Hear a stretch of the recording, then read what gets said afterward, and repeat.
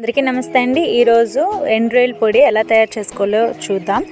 ముందుగా వాటిని శుభ్రంగా చెరిగేసి కడిగేసి ఇలా ఎండేసుకోవాలి. మాకు ఇక్కడ ఎండలేదు అందుకు నేను హీటర్ ముందు పెట్టేసుకున్నాను. అనుకోండి డస్ట్ తక్కువ ఉందనిపిస్తే ఇదిగోండి మనకి చెరగడం రాకపోతే ఇలాంటి చిల్లులు దాంట్లోనే వేసేసండి రైలన్నీ.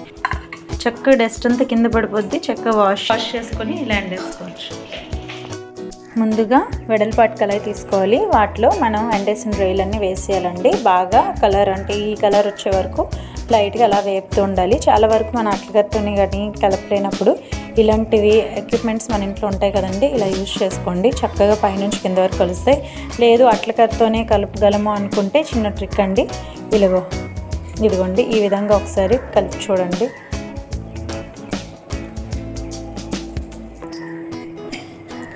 ఇలా కలుపుతూ ఉంటే మనం ఈజీగా లోపల అంటే కింద నుంచి పై వరకు అన్నీ కలుస్తూ ఉంటాయి అన్నమాట. అయితే చాలు. వీటిని ఒక ప్లేట్లో తీసేసుకొని ఇదిగోండి వాటికి కావాల్సిన మసాలా ధనియాలు మినప్పప్పు జీలకర్ర ఎండుమిరపకాయలు కరివేపాకు. మళ్ళీ అదే కళాయి తీసుకున్నా లేదు వేరే తీసుకున్నా బాగా హీట్ అయిన తర్వాత లో ఫ్లేమ్లో పెట్టేసి ఈ ఐటమ్స్ అన్నీ ఒక్కొక్కటిగా వేసుకోవాలి. ఇక్కడ నేను చూపిస్తున్న విధంగా ఒక్కొక్కటి వేసేసుకొని వేగిన తర్వాత మళ్ళీ ఒకటి వేసుకొని కానీ ఇదంతా స్లోలో అంటే సిమ్మిలో పెట్టేసి చేయండి సరేనా?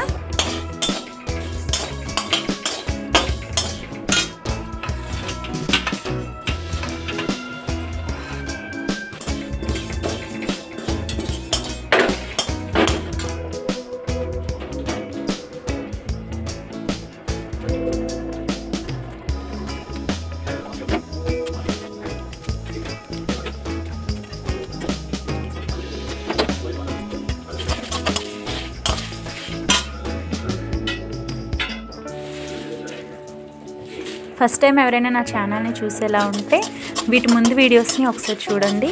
అవి నచ్చేలా ఉంటే ఖచ్చితంగా సబ్స్క్రైబ్ అండ్ లైక్ షేర్ చేయండి. ఇప్పుడు ఇవి బాగా వేగాయి కదండి. వేగిన వాటిని ఒక ప్లేట్లో తీసేసుకుందాం. చూడండి ఇలా. వీటిని చల్లార్చుకున్న తర్వాత ఇలా మిక్సీ జార్లో వేసేసుకోవాలండి. కొంచెం కచ్చపచ్చగా మిక్సీ కొట్టిన తర్వాత ఇలా ఇన్ని వెల్లుల్లి వేసేసుకోండి.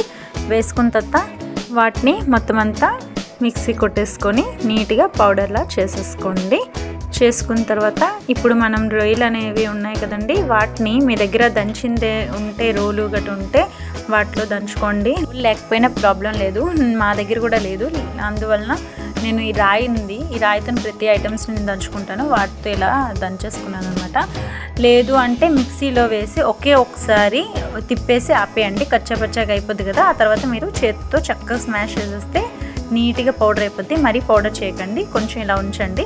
తర్వాత ముందుగా మనం ప్రిపేర్ చేసుకున్న మసాలాని ఇందులోని కలిపేస్తే ఇది ప్రతి అంటే నాన్ వెజ్ ఐటమ్స్లో మసాలాలా కూడా యూజ్ చేసుకోవచ్చు. Thank you